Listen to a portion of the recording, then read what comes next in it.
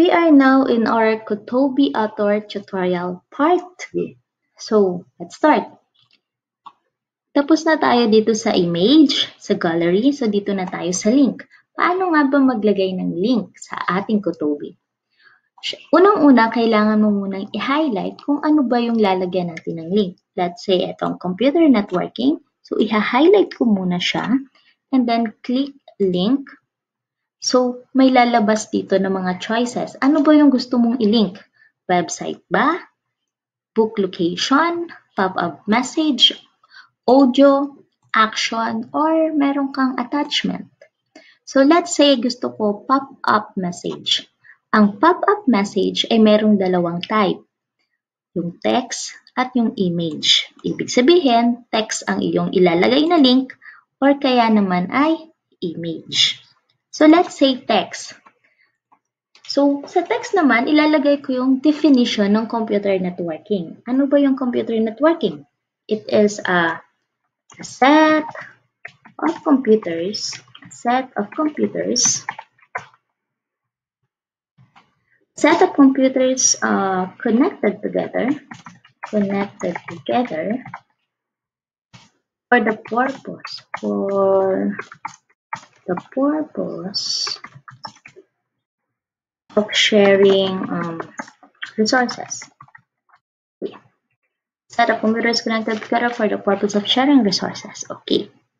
So, pwede mo siyang lagyan ng apalitan ng kulay. Let's see, red. O lakihan natin yung size, 16. Okay. Pwedeng sa center mo siya ilagay. O justify mo na lang.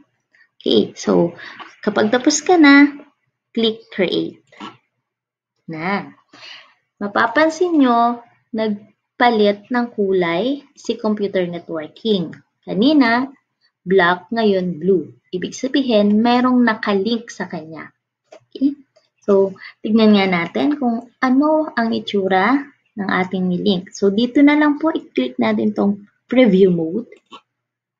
Then, napansin nyo yung ating arrow ay naging uh, hugis kamay. So, ibig sabihin, pwede natin siyang i-click. Yan. A set of computers connected together for the purpose of sharing resources. Yung maganda dito, um, kung hindi alam ng bata, ano ba itong computer networking? Kung lalo na kung hindi nyo pa napag-aralan, pwede mong lagyan siya ng simpleng explanation. Pwedeng lagay mo dito, at Tagalog. Ano bang ibig sabihin ng computer networking? Okay, so exit. How about kung gusto ko naman ay ang ililink ko image. So, dito tayo. Highlight natin to. Again, lagi po muna natin i-highlight bago tayo mag-click ng link. And then, si image. So, click image, add image. Hanapin natin yung image ng na ililink natin. Okay, this one. Open, then create. Yan. So, naging blue na ulit siya. Ibig sabihin may link. I-preview mode natin. Networking. Right. Okay. Yan. So, makikita pa rin ng bata. Ano bang itsura nitong older ATA and T258A na yan. See? So, next, paano kung yung gusto kong i-link ay website? See? Pagdating sa website, ilalagay mo dito yung URL. Ilalagay natin yung URL ng ating ililink. So, maghahanap tayo. Okay, eto. So, pinopya ko yung link, copy, balik ako sa Kotobi, then paste. Pwede kang maglagay dito same window or new window. Kaso pag clinic ng bata, ibig sabihin, pupunta siya sa ibang window. So, lagay na lang natin same window. And create. Okay. So, kailangan mong pumunta ng customize para makita natin yung ating link na URL, uh, ah, na website. So, pupunta tayo dito.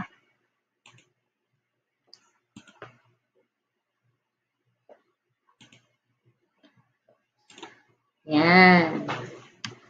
See? Nandito na ang ating nilink na website. Magbabasa na dito si student ng additional information doon sa ating topic. Balik na tayo sa edit. Okay. Yan lamang doon sa ating paglalagay ng link. Kung gusto nyo maglagay ng um, publication, audio, action, or attachment, pwede rin naman. So, next. Paano maglagay ng video? So, create tayo ng video. Video. Click natin tong video na to. Then, makikita natin, pwede tayong mag-insert ng URL or pwede tayong mag-add na lang ng video na nandoon sa ating computer. So, let's try this one. Uh, maglalagay tayo ng URL sa ating Kotobi. Create. Yan. Pwede tayong maglagay ng instruction bago yung uh, video. Let's say, please click the video. Okay. Now, kung mapapansin nyo, uh, black lang yung kanyang kulay. So, boring siya. Gusto natin ma magkaroon pa rin ng appeal sa bata na parang gusto ko itong mapanood. Ano ba to? So, lagay natin siya ng design. Kung maglalagay tayo ng design, click natin tong edit. Then, punta tayo dun sa design. Add image. So, maghahanap ako ng gusto kong ilagay dito para hindi lang siya kulay black. So, dito, watch now. Open, and then click edit. Yan. Okay. So, preview mode natin. Magpi-play na yung ating video. So, hindi siya nagpi-play. Mahina yung aking internet. Exit natin. Ito ay online. So, paano maglagay ng offline na video? So, easy lang. Click ulit natin yung video.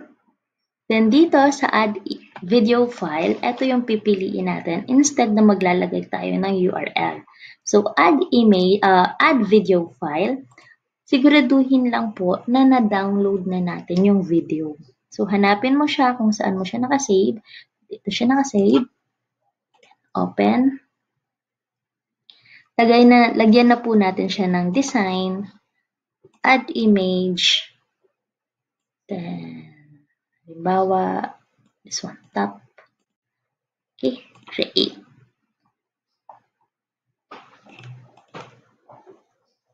Yan. So, andito na ang ating offline video. So, ibig sabihin, kahit walang internet si bata, ay pwede niya itong mapanood. See?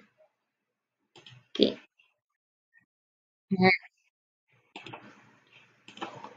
See? Okay, go next. Paglalagay ng question. So, add ulit tayo ng chapter for our quiz.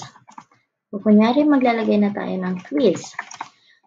So, pipindutin lang natin itong questions para sa ating quiz. Click questions. And then, meron tayong makikita unang title. Sa title, yan yung ating instruction. Hindi siya yung title na pamagat talaga. Isa siyang instruction. So, halimbawa, maglalagay ka dito ng instructions. And then, dito, makikita mo yung anong uh, type of questions ba ang gagawin mo. So, true or false ba? MCQ single choice, MCQ multiple answer, short answer, drag and drop. Depende yun sa'yo. So, let's say, ito na yung instructions ko. And then, pipiliin ko ano ba yung response ko. Score and answer report. Kapag score lang, lalabas lang sa uh, Pagkatapos ng mag-quiz ng bata, ang lalabas lang sa kanya yung score. Pero kung score and answer report, makikita ng bata kung ano ba yung tamang sagot at saan siya nagkamali. Okay? So, let's say, score an answer report. Now, gagawa tayo ng multiple choice. I mean, uh, MCQ multiple answer. So, i-click lang po natin to. Halimbawa, yung item mo ay tatlo, tatlong beses mo rin siyang i-click. Say, 1, 2, 3. So, mapapansin nyo, questions ay tatlo dito. Okay. Then, enter na natin dito yung unang tanong. Dito naman, i-enter mo yung mga choices. So, unang tanong. So, may ang unang tanong ay, ito, wag na po pala natin lalagyan ng number kasi automatic siya nagkakaroon ng number. Letter A. Natin dito ng letter A. Letter B. Letter C. So, dito, kung mapapansin nyo, meron siyang apat then na square, i-click natin kung sino ba yung tamang sagot. Let's say, see all of the above yung correct na sagot, so select the correct answer. Yan. So, number 2 na tayo. Which are, copy lang natin. Then, choices niya, address, logical address, port address, specific address. So, sino ba yung tamang sagot? Si port address. So, lalagay na naman natin dito, tick. Okay, number three. Transmission data rate decided by, then,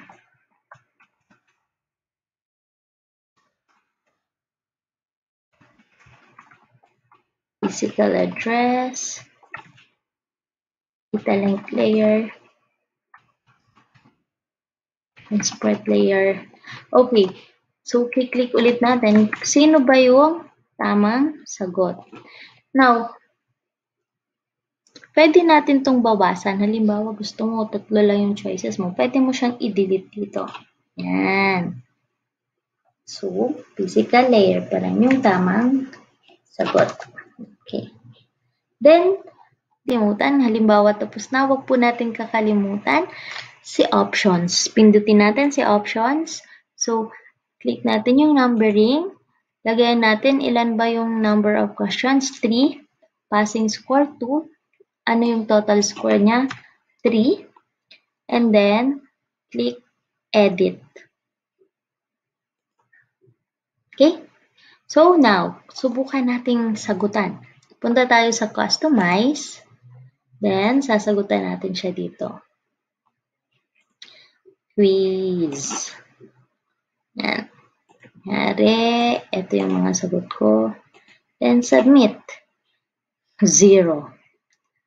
You got zero questions out of three correctly. See? Gusto kong umulit. Hindi ako, hindi ko tinatanggap na zero ako. Dapat kahit dalawa lang naman. Then, submit. Yan.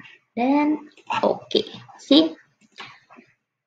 Magrara ng ating uh, quiz, ang ating questions, ang ating assessment kahit offline. Then, after that, ano bang susunod? Paglagay ng audio.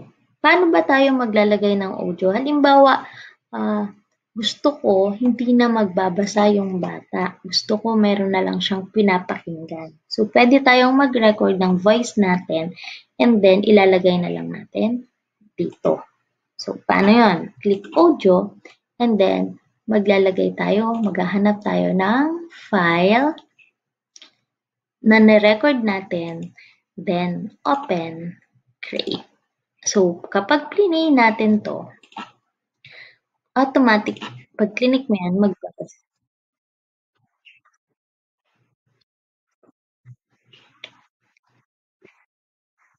Okay? So, mabab, uh, maririnig na lang ng bata, hindi na siya magbabasa. Kung, lalo na kung mayroong medyo uh, hindi pa marunong or hindi pa masyado makapagbasa. So, maganda itong may audio. Okay? Now, gusto ko uh, etong aking uh, audio, pagbukas pa lang ng bata, automatic siya mag-play. So, kiklik natin tong autoplay. So, edit. So, pag preview natin, automatic magre-read or magpi-play yung ating na-record.